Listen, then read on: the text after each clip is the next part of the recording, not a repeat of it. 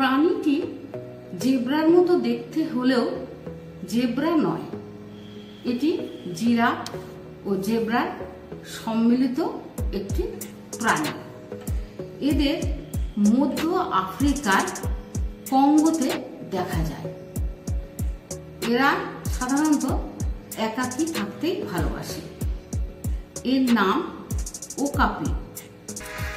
মাঝে মাঝে এরা দলবদ্ধভাবেও